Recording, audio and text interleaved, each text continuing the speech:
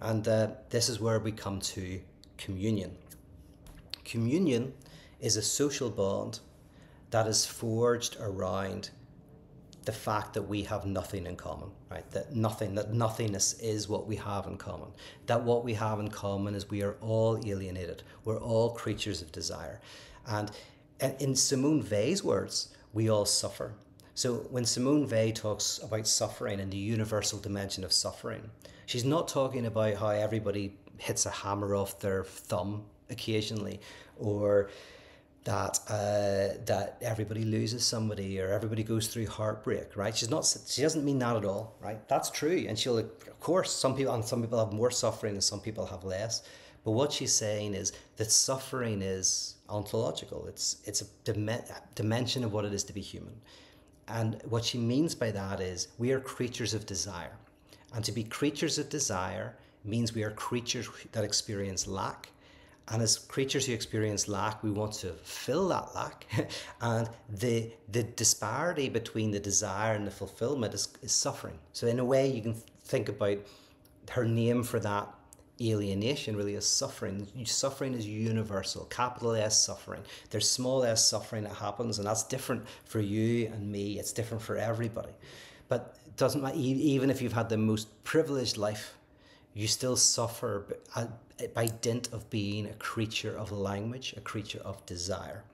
Suffering is dimension of, of us. And in fact, Simone Weil, in a way, is saying that to love someone is to love their suffering, to love their lack, to love that that part of them that is uh, kind of that has a it has a shape, right? Just like a vase is nothingness, something is it. You, you shape the nothing. All of our lack is shaped in, in unique ways.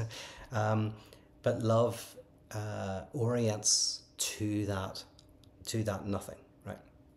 Um, so communion is gathered together around uh, a liturgy of lack that uh, and it's called communion because communion is a, is a social bond that is forged around the death of God, which is the ultimate lack, right? The ontological, the lack at the heart of everything, right? You can think of the death of God as a shorthand of saying that, that nothingness is in the heart of everything, including the absolute, right?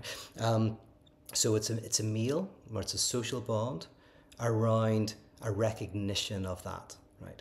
Oh, and not just a recognition of that, a consumption of that, right? You consume this loss and in the consumption of that loss, you are connected to everybody. Depend doesn't matter what belief they have, where they're coming from. All of us, in all of our difference, in all of the different identities, we have difference itself in common. And this is different from the typical right and the liberal left at the moment. You know, the right uh, affirms universal values that we all share. So for the right, the watchword is equality, right? So you know, whether it's meritocracy or blind justice or whatever it is, that, that in a sense, there are certain universal principles um, and uh, those unify us. Now, as I say, because all communities have exclusions, there's always implicit exclusions, right? Um, and that's one of the things that the liberal left are very good at pointing out is that these universalist, uh, positive uh, claims these positive identities exclude people. So you have a Universal Declaration of Human Rights uh, written by people who are slave owners, right? There's always some excluded other, necessarily excluded other. And so, kind of within the liberal left, you have the idea that of equity. There are different groups, different communities that have different identities, and there's no universal positive identities.